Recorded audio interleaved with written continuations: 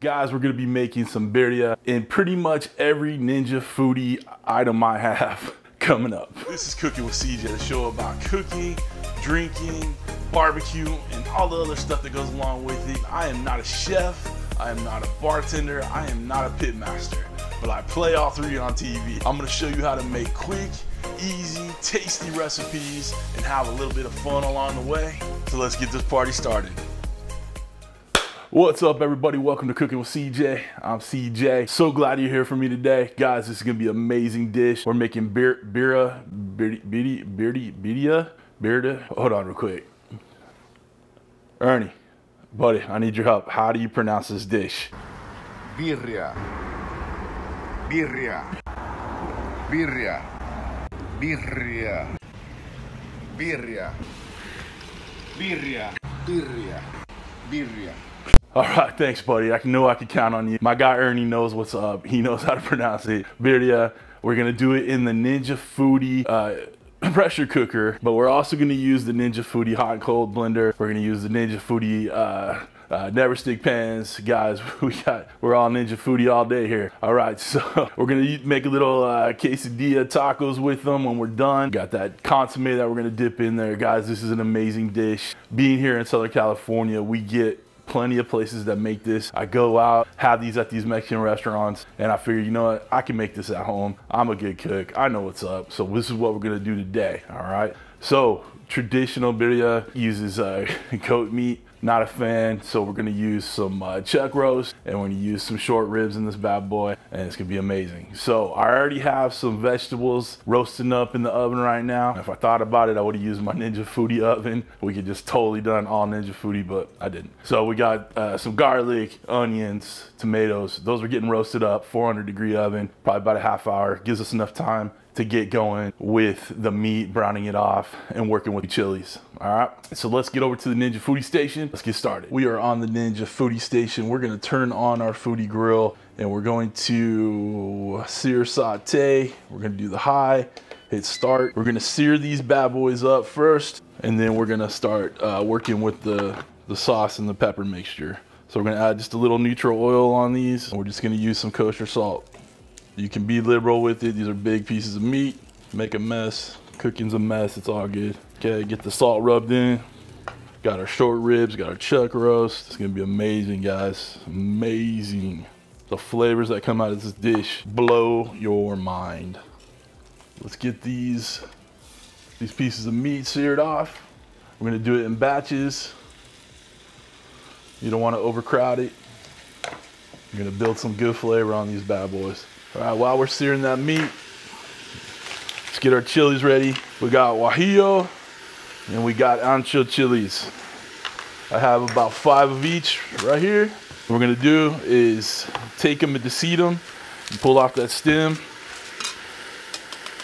If there's seeds in there, it ain't gonna hurt anybody, but you don't really need it.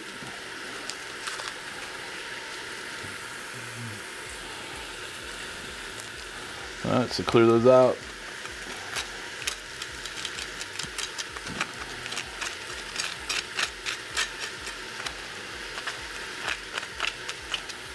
All right, we're still browning up that meat, but we got our uh, chilies deseeded, deseeded, and destemmed. We're gonna put it in some beef bone broth. We're gonna let it, this has already been boiling. We're gonna let it steep in there, rehydrate a little bit, and we'll use this as our uh, liquid to blend these up. The first batch is done. We're looking for some uh, good color like that on there.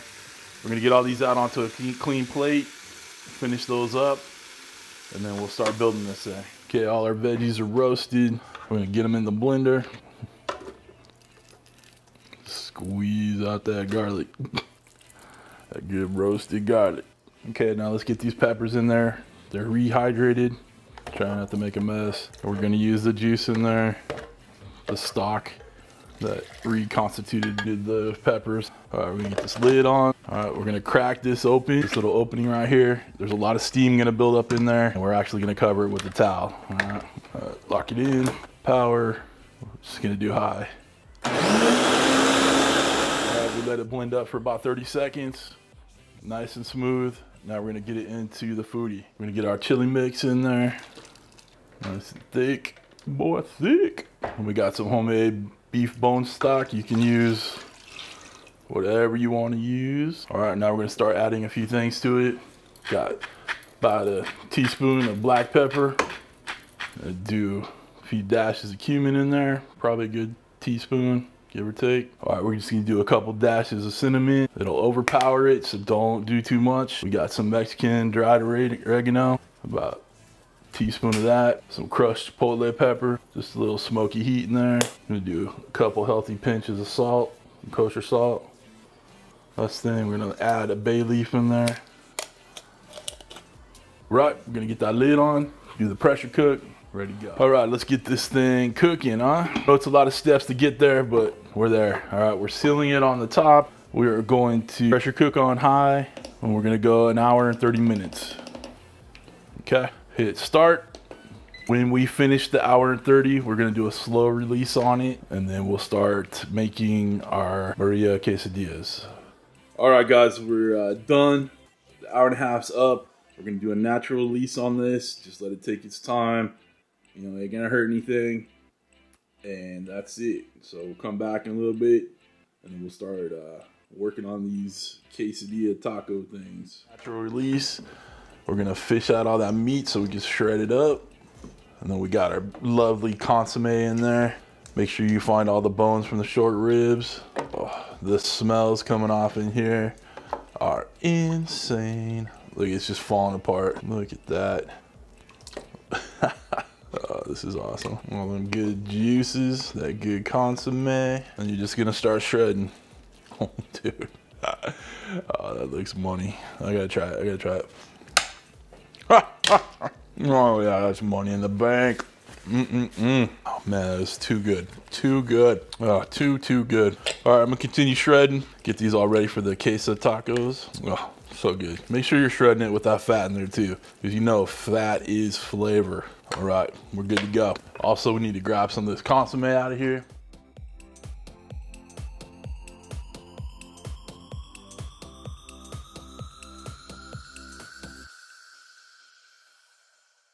Dip it cup. We'll use this to dip all that goodness in there. Oh, look at that. All right, come on back. We'll be on the stove. All right, guys, we're over here on the stove. We got our Ninja Foodi Never Stick pan there.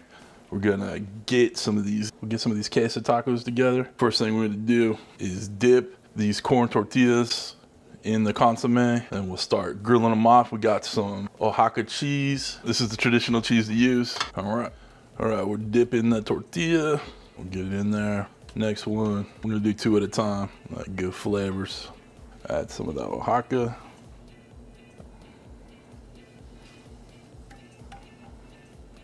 You know I like them cheesy, so you can do it how you want. Those looking good. I'm gonna get some of this with this birria over here.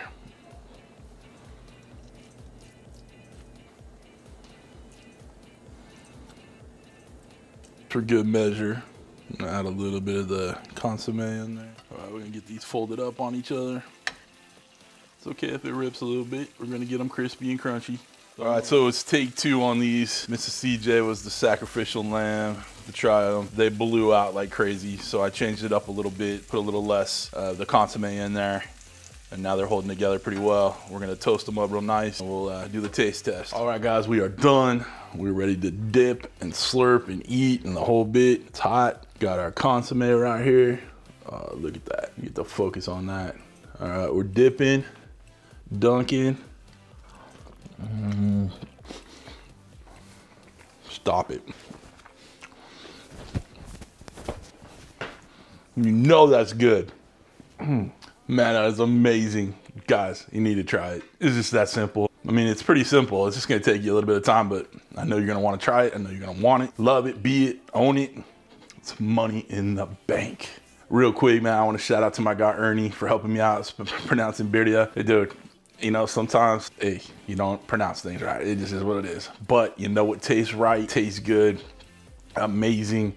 Guys, if you want to get yourself one of these ninjas, any of the ninja stuff I used on this one, links down below, click that link. All right, if you want to become one of part of CJ's crew for real, click that join button, join up, all right? Anything in my videos you want to get from the cutting boards to the knives, all that good stuff, links are down below. That's it for this one. Thank y'all for stopping by. Thanks for cooking with CJ. Take care.